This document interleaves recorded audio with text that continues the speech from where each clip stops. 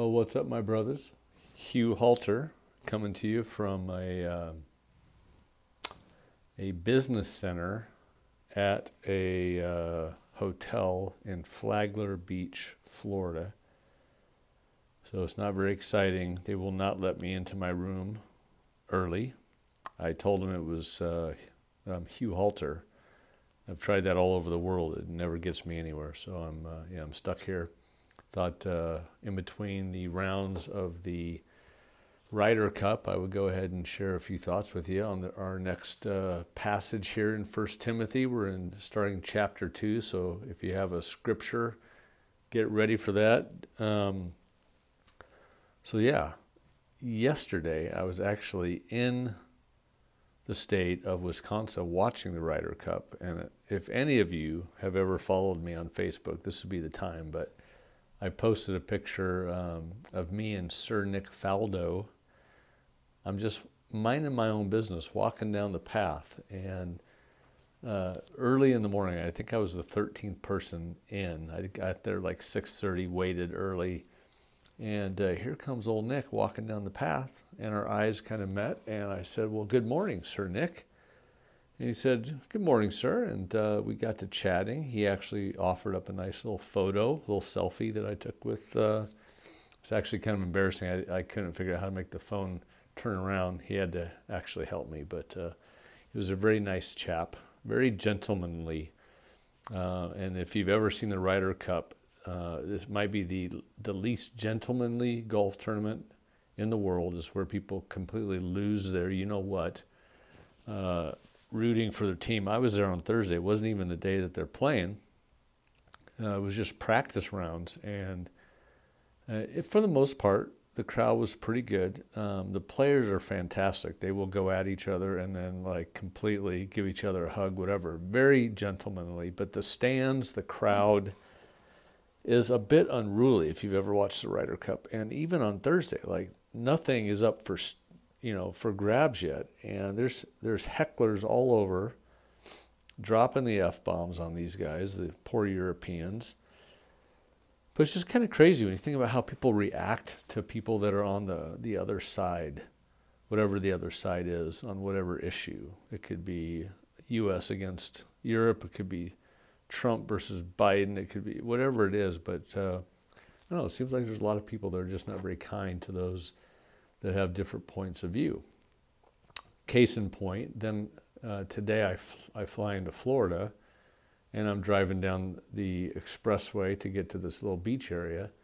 And here comes three trucks zooming by me, all with F Biden signs all over them. So, you know, just depending on where you are in the country, uh, people obviously express different opinions and hold different opinions. And uh, apparently, people don't like uh, Joe very much down here in Florida. But uh, we're gonna, we we got to talk about this, guys. This has been a season where uh, folks are are uh, I don't know. I think we're all struggling with what's going on in the world. We can't seem to figure out who can fix it.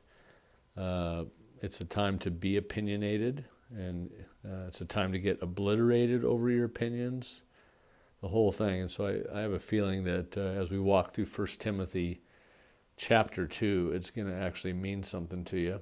Um, if you just read it, it'll seem pretty docile. It says, I urge you then, first of all, that petitions, prayers, and intercession, thanksgiving be made for all people, for kings and all those in authority, that we may live peace, peaceful and quiet lives in all godliness and holiness. Well, here we go again.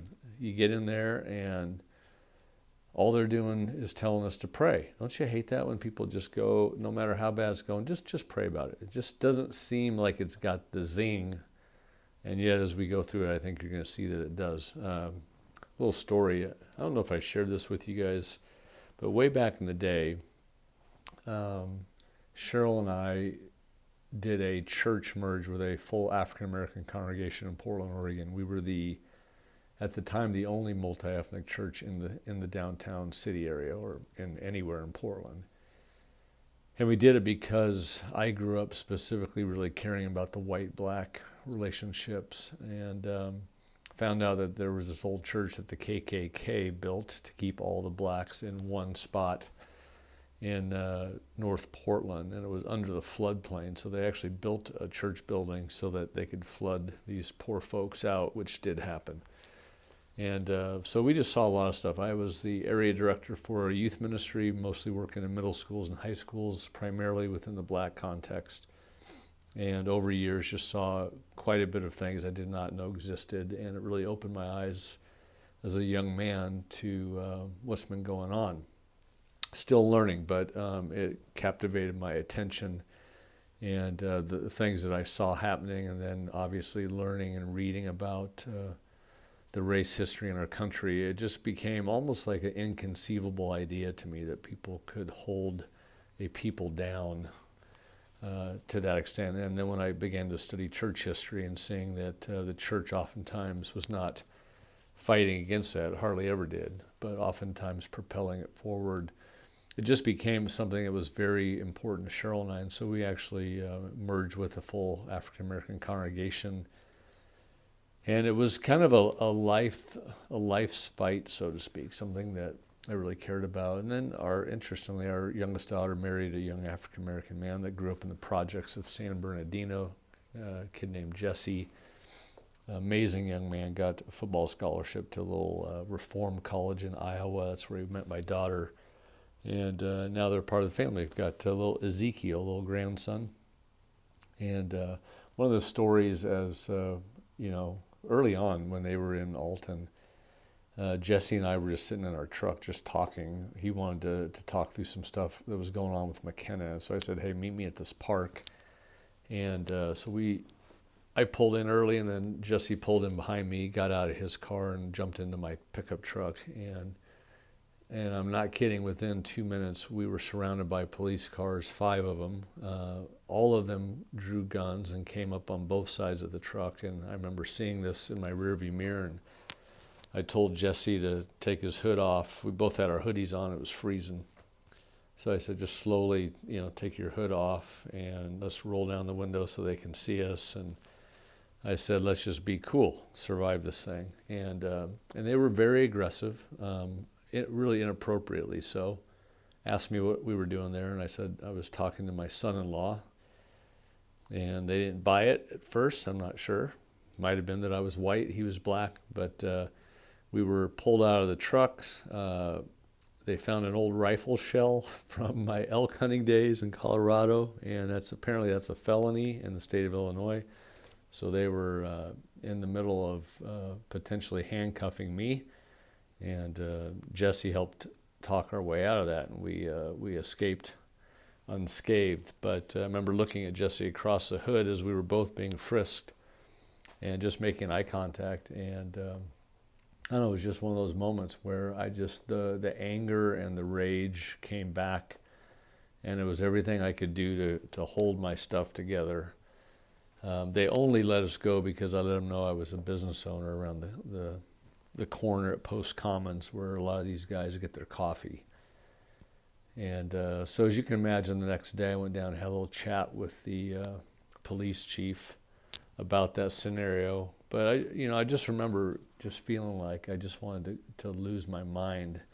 Jesse and I, and then our other son, Matthew's full Mexican, have had talks together about the world that we are raising their kids in and our grandkids and what's the right thing to do if we're ever out in public and our very multi-ethnic family ever encounters anything. I was actually bringing it up like guys um, you should keep an eye on me because i'm not going to be able to handle it very well. And it was jesse that that really coached me as a as his dad if you will. He said yeah like if if something were to ever happen we're sitting at a bar or whatever, and somebody starts to flick us crap. He said, I just so I want so you know I don't want you to do anything. I'm, I'm like, what do you mean not doing it? I've been doing something my whole life about this issue. Why do you not want me to do something? He said, well, because I can't do anything. I'm a teacher. I'm the only black teacher uh, in a 40% black high school. Um, Jesse understood the power of his position in that school and that probably people uh, may not even want him there, even as the only black teacher. And he said, I don't get to fight for myself. because there's too much to lose if I stand up for myself with some knucklehead at a bar. So he goes, I for sure don't want you to stand up for me because not only is it dishonoring to my story that I can't fight, um, but it just doesn't settle, it doesn't change anything. And obviously, he's, he's speaking from experience. And I just remember feeling pretty proud of him, but also enlightened to the fact that Jesse did not want me to fight the way that I would normally fight for issues.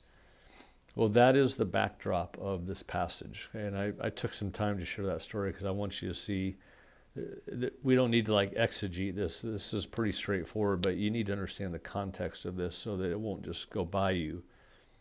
I urge you then, first of all, that petitions and prayers and intercessions and thanksgiving be made for all people, for kings and all those in authority. Okay? Uh, the context of their world that, that Paul is writing this to Timothy in is uh, they're under the reign of a dude named Nero. And I know you've heard of Nero. He was uh, like the, the worst Roman emperor that the world's ever seen. He was the one that was known for impaling Christians through the undercarriage, and then the spear would go out somewhere like here, and then they would uh, hold them up around the gates of the city and they would light them on fire. So Christians were essentially being lit on fire. That was Nero that did that. And so in the days that these guys uh, were trying to process what's, what, it, what does it mean to be a Christian man? What's it mean to be a Christian leader? Um, it was way worse than what you and I. It's not just guys going F Biden down the road with their flags on their pickup trucks. Okay, this is serious business, and it would have been of utmost interest to Christians like, well, what are we supposed to do about it? How do we fix the world? How do we really make any difference at all? Or do we just let it go on or whatever? Well, here it says make petitions, prayers, and intercession. Three different types of, I guess, um, ways to battle petitions. Obviously, a petition is something that you get with a lot of other people. You usually have to have, what, 7,000 uh, signatures in order to get any new idea moved through. And that's what he's talking about is that, like, get, get your, like, if there's something going wrong in your world or your neighborhood or the city that you live in or the country that you live in, don't just run off in the flesh and don't go vigilante like Hugh Halter would uh, rally up your community and begin to pray together. That's what it means. It's it's petitioning, bringing the community together to pray, and then obviously prayer is just simply asking God uh, for His hand. Now, remember when Jesus us about uh, the kingdom of heaven in Matthew 16? He said, "I will give you guys the keys of the kingdom." And then I'll build my church on this. And then whatever you bind on earth will be bound, whatever you loose on earth will be loose. He was actually giving the early disciples a little bit of a, an idea that you guys are going to actually have real incredible power to change the way things are. And this is what he's talking about is that our primary battle is to pray and to intercede, if that makes any sense. So don't just go past and go, they're just asking us to, you know, politely pray. No, this is actually the way that we war and the way that we fight over things. And that's, for somebody like me, this has taken my whole life to actually settle this issue that I have no power in the flesh, um, but that there is real power to loosen up things that have been bound up tight, and there's power to unloosen things that have been tightly bound, if that makes sense. Okay? So we bind and we loosen. So, so we get our friends together and we pray together. That's why in your men's group, I hope it becomes part of what you do is that you literally take time, not just as like a covering prayer, but you actually go to battle for the things that are coming up with each other and the things that you're really concerned about in the world. So we petition, we pray, and we intercede. Intercession is a unique type of prayer, and, and try not to forget this. Intercession is going to God on behalf of somebody else or some other situation and you're offering yourself as an answer to that prayer. So when I roll in and I talk to the police chief the next morning, that's that's actually intercession. That's a walking prayer. I'm going in to go. I want things to be changed. I don't want, um, you know. And I brought it up to him. I'm like, your boys were pretty aggressive uh, before they even asked us what we were doing. All the guns were drawn. I said, you know, is that like how they were trained? He said, no, that's just kind of Alton. That's because they're used to a lot of bad stuff happening when a young black man gets in a older white man's truck. They're almost always doing a drug deal, and so the neighbors have seen this so many times. They just called immediately because they're they're they're sure that's what's going on. But he goes, it's not right, but that's what that's from. And so we talked about it, and he said, look, I'm going to bring it up with the guys, and hopefully it will make some changes. So that's in a sense an idea of intercession. Okay, you actually are going, you're, you're seeing the problem, you've prayed about it, and now you're going to go offer yourself as an answer to that prayer potentially. Um, so to me, it's an active type of praying. So when you th- see things going on where I saw things re- regarding a black-white relationship, it caused me to intercede by planting a church and working as a football coach in certain high schools that were different than what I would have normally done. But all those are actually active prayers, and they do change things. All right, they do. And you have to remember, guys, when we see things going on in the world today that we feel powerless against, remember that the early Christians took down Rome. so these were all these completely, uh, seemingly powerless guys. And then they would uh, march to like things that they heard Jesus say, like when somebody slaps you on the right side of your face, turn to them the left side. Uh, and that was not Jesus going, hey, I want you guys to be wimps. He was literally saying, when a Roman walks by and just tries to belittle you in front of your family and takes a backhand across your face, just stand up tall and turn to him the other and give him a little wink. Give him a little smile. Let your family know it didn't hurt you that bad and you're not afraid. It was literally an act of rebellion and an act of resistance uh, for men to actually intercede. And so uh, I hope this like totally blows the lid off what you think praying is. Um, but this is what Paul and Timothy are trying to get on about is we've got to do this. So let me just keep reading.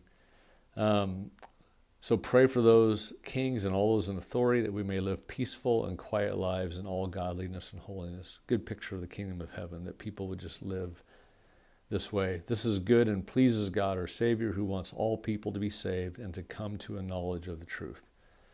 Then he goes in verse 5 For there is one God and one mediator between God and mankind, the man Christ Jesus, who gave himself as a ransom for all people. Okay, so this is um, in anything like where there's an F Biden sign, and then on the other side there's people that hate Trump, or you take any other political issue, those on one side of the refugee dilemma, those on one side of the border crossing issue, um, those on one side of an abortion issue, those on one side of a gay issue, wh- whatever it is, um, that when you find people on opposite sides, they by nature are enemies. Okay?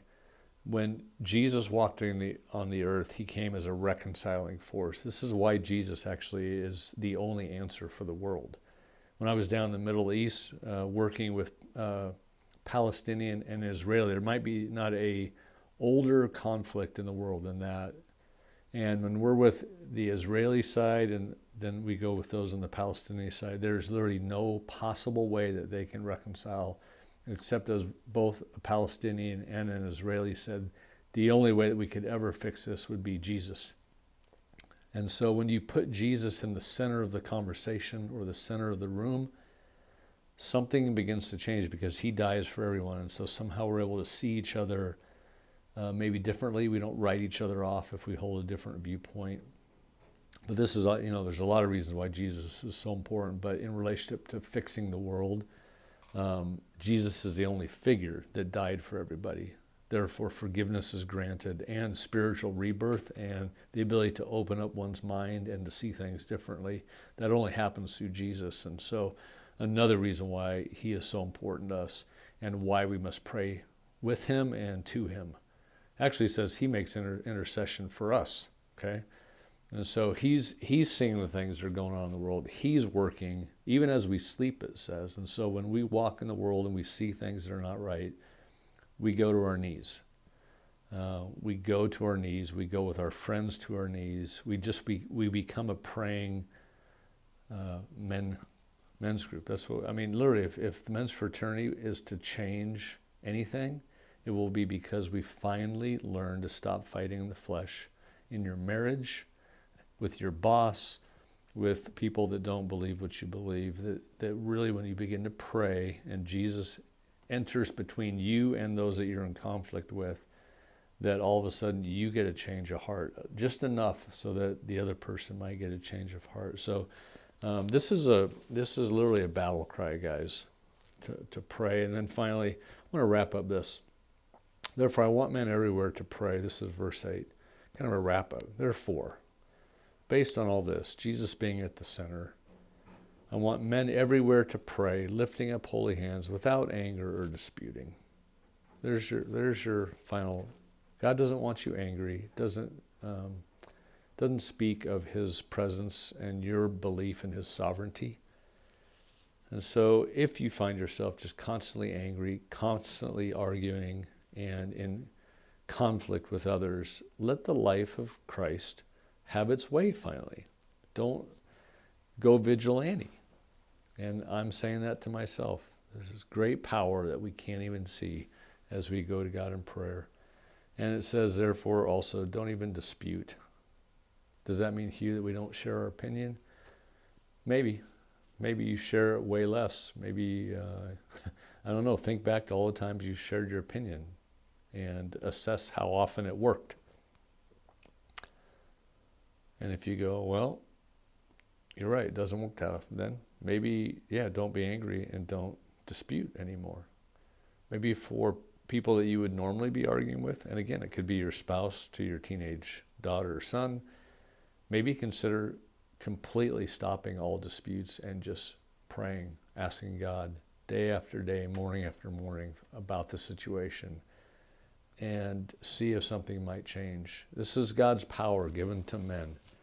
Same power that raised Jesus from the dead is now at work in you. This is what it's talking about. And if you can get 500 to 500,000 Christians to do this, and yeah, we take out Rome, which is what we did, we can certainly make our neighborhood a little bit better. And uh, maybe we can change our country if God's people would humble themselves and pray, as God says and turn from their wicked ways. Then I'll heal their land. So the, all the, the fixing of the world begins with Jesus and his reconciling work, and it carries on to completion as we pray and work and intercede and get active with him on the things in this world that are not right. So hopefully that helps.